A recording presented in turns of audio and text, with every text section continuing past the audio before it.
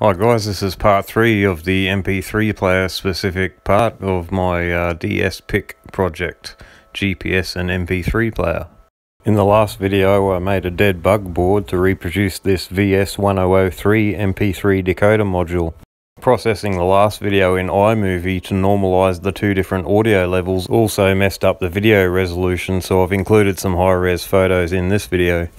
For a bit more assurance about the quality of the solder connections to the LQFP chip, I decided to try touching some of them up with this silver conductive pen. I've never used one of these before, so I tried some tests on some rubbish surfaces before using it on the project. It turns out the mixture isn't conductive straight away until it cures when it does become very conductive. I'm bridging the connections here just to make sure my circuit's are alright using a strand of solder. Having left it set up overnight, in the morning the LED was lit.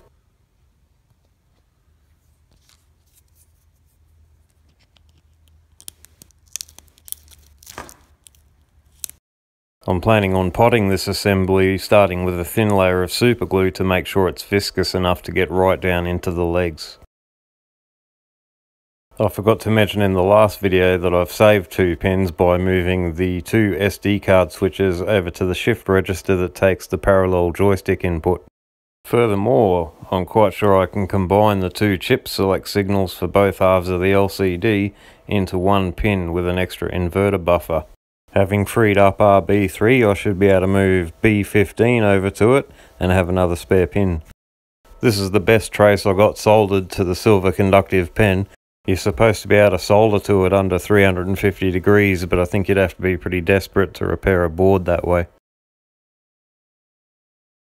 Starting on a file browser for the MP3 player that uses no RAM printing the next seven file names from a variable starting position, the program doesn't actually know what it previously wrote.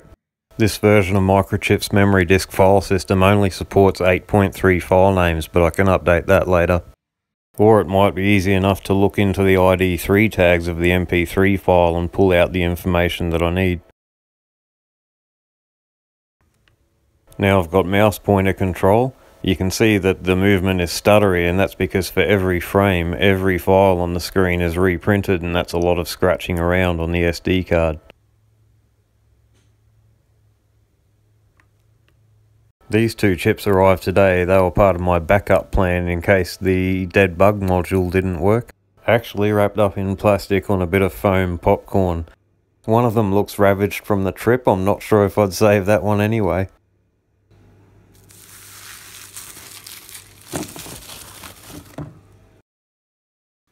Any decent file browser needs a scroll bar.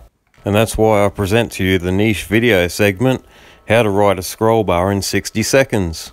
Let's say we have 14 files and we divide that by the 7 lines we can print to the screen. That equals 2 screen pages that it takes to print all 14 files. Divide the 62 pixel vertical range by the two pages and we know to draw a 31 pixel high moving segment. Here's our 31 pixel high moving segment that can move across a 62 pixel range. Subtract the height of the moving segment from the total height and we're left with the range of motion that we can actually move the moving segment. Divide the upper limit of that range by the total number of files and we're left with a value that represents the number of pixels to move the segment for every file. The rest will vary depending on your implementation. Generally multiply that number by the currently selected file to get the position to draw your segment.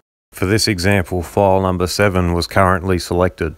As I said, this could vary. Because my browser can print 7 files and the 7th file is always selected, I had to subtract 7 from the file count and also the currently selected file number.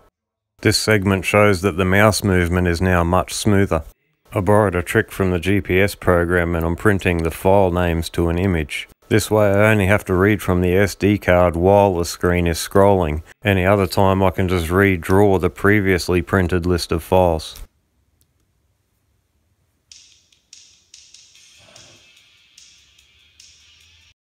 A button shield exists. That's right, not much else to it. A button and a header connector. That reminds me I've got to add more buttons. And a QFH GPS antenna like this one. only this time with an SMA connector so it's removable.